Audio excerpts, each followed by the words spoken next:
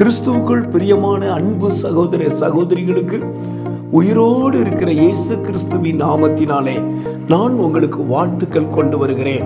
ஒவ்வொரு நாளும் உங்களுடைய பாதுகாப்புக்காக சமாதானத்துக்காக நான் ஜெபிப்பது உண்டு இந்த நாளை தெய்வம் நமக்கு கிருமையாக தந்திருக்கிறார். இந்த நாளுக்குரிய ஒரு வாக்குத்தத்தம் ஏசாயா நாற்பத்தி ஓராவது அதிகாரம் ஒன்பதாவது வசனம்.